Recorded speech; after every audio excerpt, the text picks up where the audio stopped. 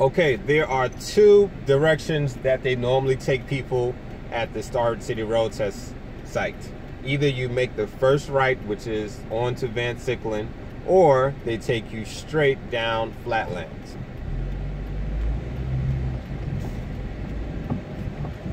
If you're on Flatlands Avenue and you go this way, nine times out of ten, they will ask you to switch over to the left lane. Why? Because you're preparing to make a left turn. Some examiners will say switch over to the left lane. Some examiners will say make a left turn.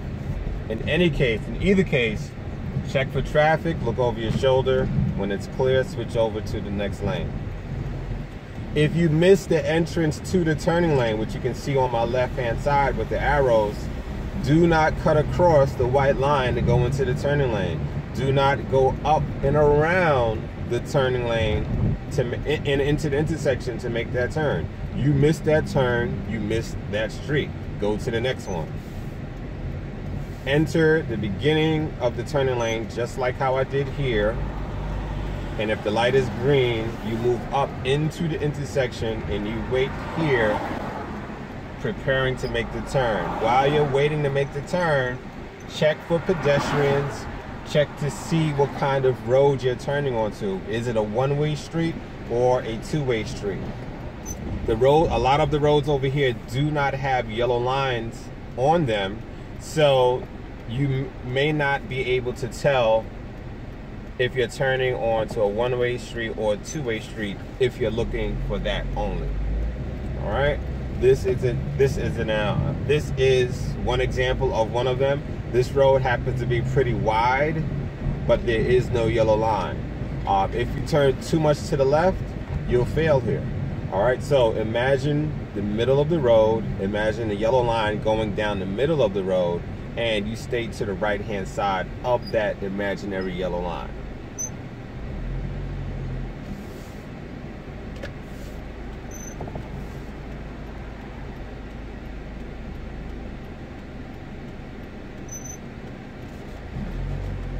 Roads that may give you the biggest problem are the narrow streets. There are a lot of narrow roads over here, like the one I'm about to turn onto, that are two-way, but they look like one-way streets at first. So one of the ways you can tell um, is if you see, if you notice, you see the words that say stop on the ground here, they're only on one half of the road. That is an indication that you're looking at a two-way street. Also look at how the cars are parked on both sides of the road. They're facing in opposite directions. That is another indication that you're looking at a two-way street. Also, as you're about to turn onto the street, look to see if you see the back of a stop sign as you're getting ready to turn on the road. That is another indication that you are most likely turning into a two-way street.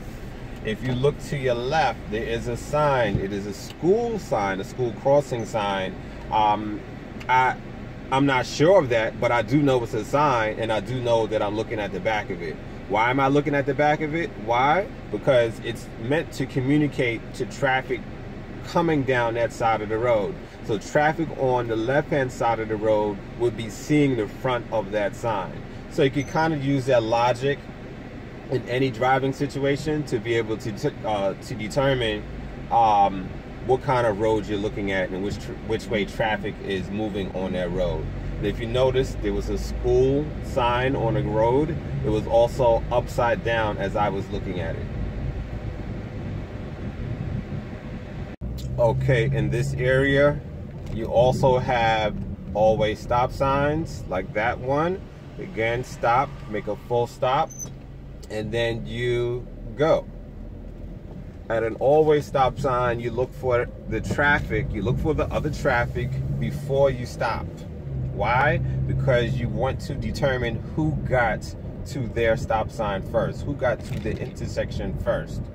Whoever gets there first, whoever gets to their stop sign first, has the right of way to go first. It doesn't always work like that, but that is what is supposed to happen. All right. So you can actually fail the road test if you wait too long at an all way stop sign, stop too many times at an all way stop sign, or automatically defer or give up the right of way to another vehicle that you clearly got there ahead of. All right.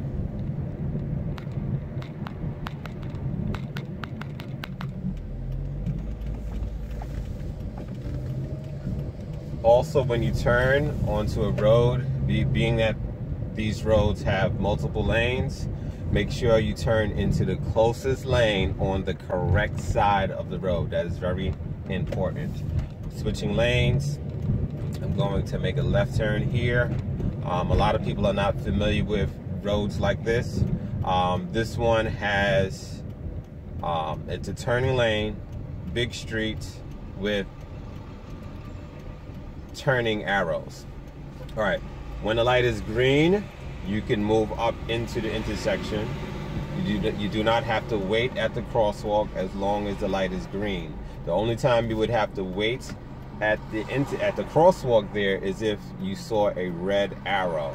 All right, there is no red arrow here, so all I have to do is make sure there are no cars coming, and then I can make my turn. Problem with that is this car is blocking my view. All right, now I can see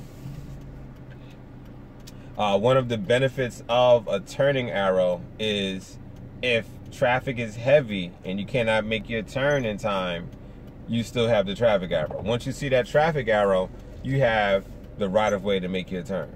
All right, there it goes. I'll make my turn. Do not touch the yellow line. Do not touch the bike lane. At the end of the test signal, check your mirror, look over your shoulder, and pull over to stop. All right, and that's it.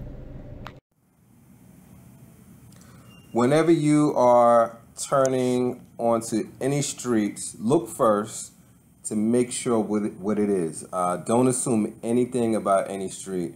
Uh, these roads over here in Star City, these narrow roads with no yellow line, uh, they appear to be one-way roads at first, but they're actually two-way. Um, and these roads cause a lot of people to fail uh, mainly because they're not looking for them and also because they don't know what to look for. Um, the easiest things you could look for if you look at the picture closely is look at the corners.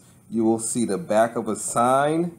You could tell that the back of that sign by the shape of it is a stop sign. Uh, so you could look at that. That that is a clear indication that traffic is coming out of that road. Um, you could also look at the pavement markings. Um, anytime you see a pavement marking and it's only on one half of the road or one side of the road, that is another indication that you're looking at a two-way street. And also, if you look at one of the um, uh, pictures here, you can see that uh, there's a faint black line going straight down the center of the road.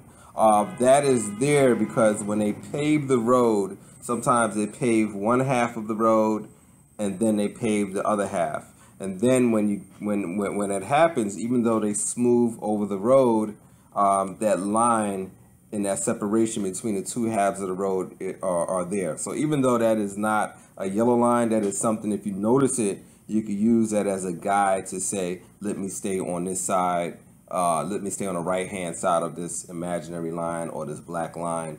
Or sometimes if you see the manhole cover, a manhole cover might uh, a lot of times are in the middle of the street, middle of the road. You could also use the manhole covers as a guide to say, let me stay more so to the right side of the manhole covers. All right?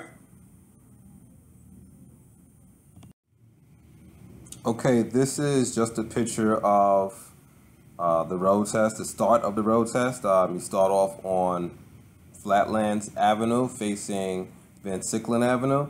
Um, on the left hand side, you'll see an X marks the spot.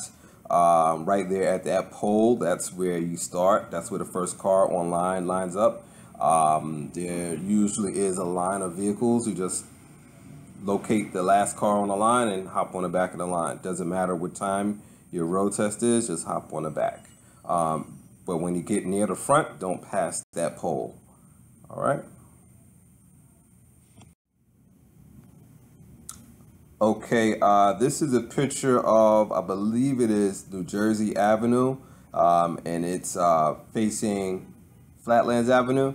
And um, the tricky part about this turn is making that left turn from that road, from that stop sign onto Flatlands Avenue. Um, the tricky part about that is um, you're dealing with a busy road with multiple lanes and a lot of traffic. And that traffic might be making left turns. So uh, the tricky thing in there is is misjudging how fast the vehicle is coming towards you, uh, moving out too quickly into the intersection, and then getting stuck in the middle of the road because you misjudged how fast a car was coming towards you, and um, and then you got stuck. All right, so be careful here. The main thing to do to try to avoid that situation is look both ways frequently and try to judge how fast the vehicles are coming and how much time you have to make that turn. Um, you don't have to just worry about one side of the road. You have to worry about vehicles on both sides of the road and in two different lanes. This is very important. Whenever you're making a turn, make sure you always turn into the closest lane on the correct side of the road.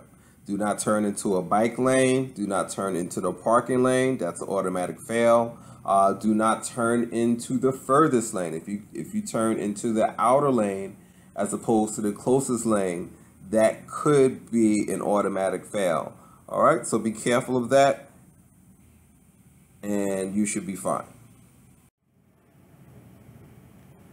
very important when you are making a left turn and you have a turning lane make sure you get in to the turning lane at the beginning of the turning lane if for some reason you miss the beginning of the turning lane do not cut across the white line to go in do not go up to the intersection and try to go around the turning lane make sure you get into the turning lane to make your turn once you're in the turning lane and you're preparing to make a left turn, uh, move into the intersection, keep your car straight, and keep your wheel straight.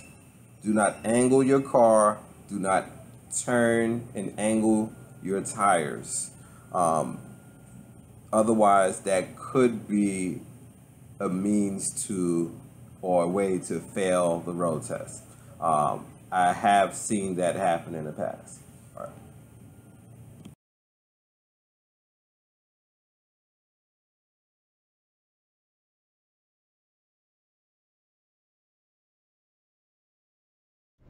So again, um, Starrett City is not the greatest area in the world. It's not the easiest place in the world. But if you're paying attention, if you get enough practice, uh, you can still pass here. People pass here every day. So um, it's possible. Uh, if they take you straight and onto flatlands and, and, and, and making a left, uh, it, the area is a little bit more tricky. If they take you straight into the right onto Van Siclen, then the area is a little bit more simple. All right, so that's what you can expect with the Starrett City Road Test site.